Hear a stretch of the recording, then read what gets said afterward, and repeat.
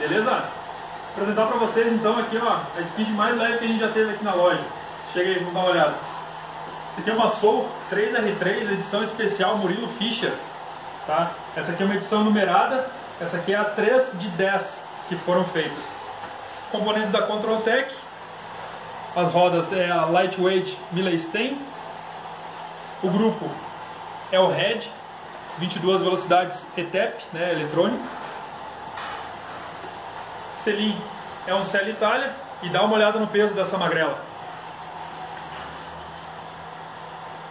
5,950 galera. Ou não é leve essa bike?